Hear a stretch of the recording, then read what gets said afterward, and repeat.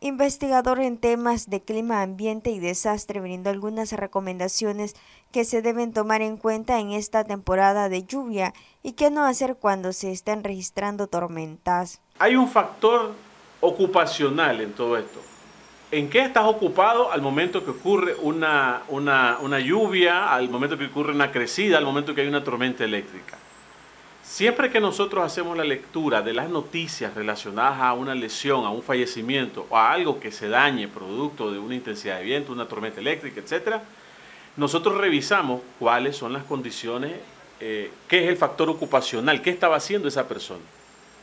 Lo que se le recomienda a todas las personas entonces es que el momento de que la intensidad de lluvia o se vaya a presentar lluvia, observen bien el comportamiento de la nubosidad, vean las características y si están viendo que es propensión a viento intenso, a tormenta eléctrica, que se resguarden lo más pronto posible.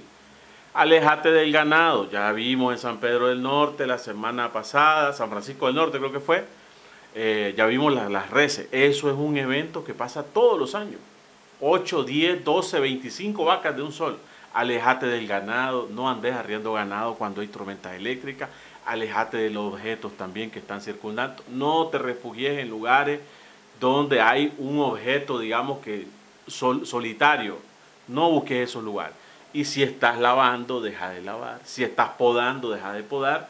Las personas, eh, algunas de las cuales han sobrevivido al impacto de rayos que vimos la noticia la semana pasada, estaban laborando en la, en la parcela o estaban haciendo trabajos de jardinería. Entonces esas cosas tienen que de alguna manera tomar más conciencia las personas y tratar también de no utilizar ningún aparato eléctrico al momento de la tormenta. Porque aunque estés en tu casita, eso puede atraer parte de los rayos y te pueden afectar.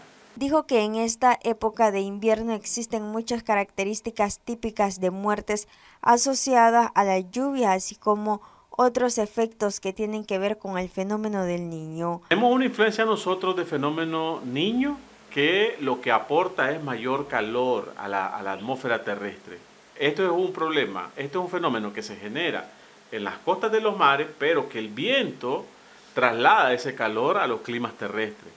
Entonces, bajo esa influencia de ese fenómeno más global que está aportando mayor, calor, bajo esas condiciones, eh, digamos, generales, está ocurriendo la temporada de lluvia. Entonces, por lo tanto, aunque llueva, vamos a estar sintiendo siempre eh, calor. Recordar también que una característica muy marcada de fenómeno niño es que eh, hace más esporádica eh, la lluvia, los días entre lluvia y lluvia. Noticias 12 Darlene Telles.